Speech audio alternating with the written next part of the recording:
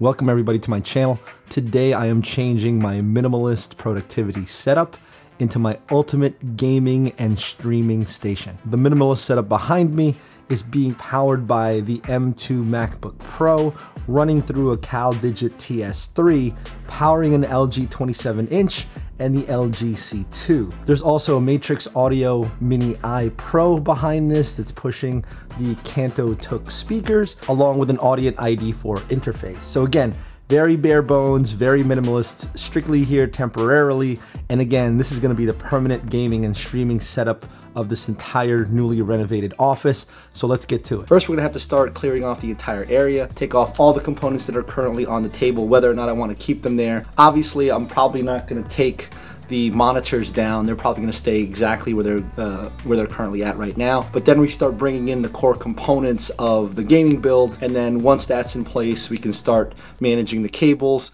and then hopefully everything turns out and starts working. Okay, so one of the first problems that you have when you're not paying attention to how you're running cables is that even with very few components and peripherals, if you're not cognizant of how you're gonna run those cables, it becomes a mess very, very quickly. There's not a ton, there's maybe three or four different components. And when you take a look down here, because I didn't plan on how to run it and just kind of haphazardly connected things, it becomes not only aesthetically not pleasing, but the other problem that comes along with it is it starts to attract the dust that ends up piling up on the floor, and then you won't be able to clean it because, as you can see, and because of that, it doesn't allow you to properly dust and clean in the area where you're about to have your PCs and all the other components. We're gonna go ahead and address that first, take everything off of the desk and then take everything out from underneath here, let it be clear, and then we'll start planning the cable management as soon as the entire area is clear of any components, cables, whatever else is down here.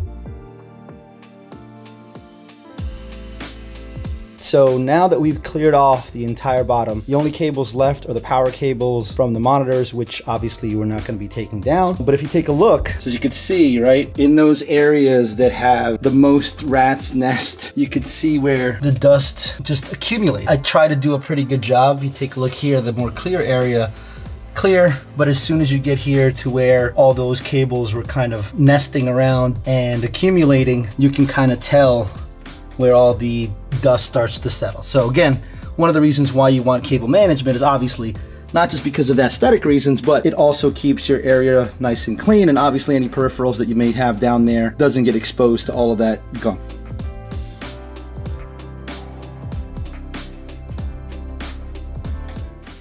All right, guys, let's spend some time now that the top of the desk and the bottom are completely cleared off to kind of walk through the components. And let's start with the streamer PC. So this is a Corsair Vengeance i9 12900KS with a 3090 Ti. I know I know, completely overkill for a streaming PC, but that was my old daily driver, so it's been relegated to the streaming spot. The new gaming rig is the Corsair i9 13900KS with a NVIDIA 4090 inside of it powering the GPU, so it is the main workhorse from a gaming perspective. The main brains of the unit is gonna be Rode's new Streamer X. It's kind of their first foray into both audio and video interfacing. Next is the Stream Deck from Elgato, Stream Deck Plus. It's gonna to end up controlling basically all the components in the gaming setup that we have here, all the lights, all the peripherals, whatnot. Obviously, there's a PS5 here for all the console gaming, and that has to run through an Elgato HD60X. Now for the fun part. As you may or may not know, I'm a huge audiophile, so from a headphone perspective, I, I had to go with, with the best. Again, way overkill. You don't need to have something this elaborate, but we are going with the Sennheiser HD800S as kind of the cans that we're using for the headphone setup. You can't see it, but the Shure SM7B is kind of behind there somewhere. Again, it was part of my podcast setup. It's tried and true. Shure SM7B is going to be running with the Sennheiser HD800S into the Streamer X from a headphone and microphone standpoint. From an input perspective, we're going with the GMMK Pro from Glorious. I love the feel of their switches, and I think it'll be a great complement to the entire setup. Mouse, Really can't go wrong with the new Logitech G502X. It's great, what can I say? From a camera perspective, we're going with the Sony ZV-E10. And obviously with that, you're gonna need all kinds of lighting. So we're gonna have a few of these Elgatos also hung as well. And that's it. Again, we're gonna go and, and place them, stand them up, put them in the places where they're gonna belong. We're not gonna put any cables yet. We just wanna see how the fitment looks. I wanna be able to understand how I'm gonna run the wires, how I'm gonna put the cable management and the power management. We'll go from there.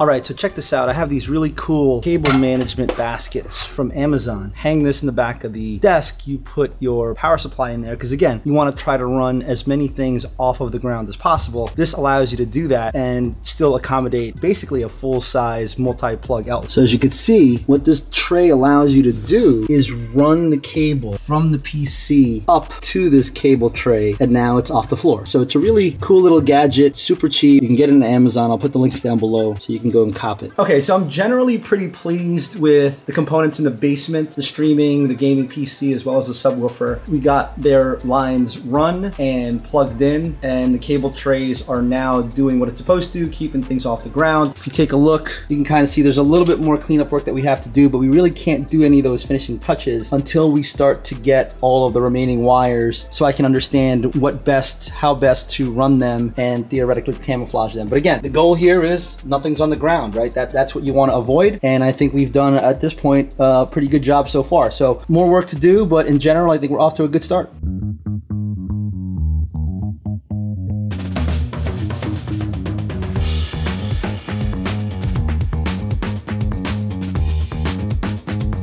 Okay, it's been about three and a half hours. I am completely soaked, exhausted. This is why people don't cable manage their stuff. It's a lot of hard work in cramped spots, weird contortions of your body, trying to fiddle with wires and, and cable wraps, and it's and it's not easy. So anyway, I think we're in a good spot though. I think the remaining parts are just the simple parts, the easy parts. So again, come take a look underneath here, right? So you can see nothing on the floor really. My light there.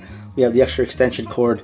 Everything is standing, standing, hanging, I guess, on the cable trays. I'm I'm very pleased. Like I said, a lot of hard work getting underneath there, but I think we're we're at the home stretch. Holy crap, I am exhausted. That took about five hours. Five hours. full five hours. This is why people don't do this too often. So anyway, we got everything up. It's, as you can see, vertical is being powered by the Corsair with the 390. The LG is being powered by the Corsair that has the 4090. We have the PS5 set up. It's running into the uh, capture card of the HD60X, which is then going into the Corsair with the 3090. That's all good. I'm going to be checking OBS at some point. All the speakers are connected to the Corsair with the 3090, which is ostensibly the streaming PC. The audio I have to work on for the Streamer X. I got UNIFY downloaded. It's new to me, so I don't know how that software works. I'm going to have to fiddle around with that. Shure, SM7B is set up. It's running into the Streamer X. We also have the Stream Deck Plus connected. I have this power mat from Logitech that we have connected and and the glorious GMMK is hooked up as well along with the Matrix Mini I Pro. And I'm quite proud of the lack of rat's nest underneath this thing. Now, that's what took, let's say, 90 95% of the time, but I think it's well worth the investment. It's very easy to clean down there. I still have to tag them um, so that I can know which plugs go to which you know, component. So when I have to swap something out, it's a lot easier to identify. But by and large, I'm extremely happy. This won't be the full tour video. I just wanted you guys to kind of see what it takes, and it takes a lot to do this properly. Uh, and again, going from a very minimal setup to what I would consider to be a fairly complex setup. Again, there's probably more complex setups out there, but this one for me in general is very complex. So again, I appreciate this. I'm gonna go and do a lot more um, installations uh, for uh, Steam, all the games that I want to play and stream. And uh, thanks for joining me. Like I said, it's a, it was a project, basically half a day project, uh, but it was well worth it. I think I'll be able to get a lot out of this. Obviously, this will be the streaming setup from from now on, and obviously I'll be doing a lot more gaming on it as well. So thanks for joining. I'll check you out next time. Peace.